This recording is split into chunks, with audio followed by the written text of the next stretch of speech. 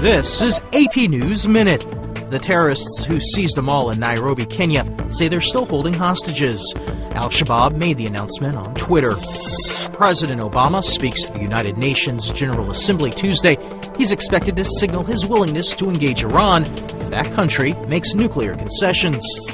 Rescue workers in China used bamboo and ladders to save a family of seven stranded in the massive floods caused by a typhoon. And closing arguments begin Tuesday in the Michael Jackson civil negligence case.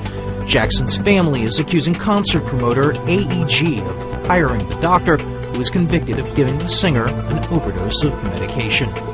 Matt Small, The Associated Press, with AP News Minute.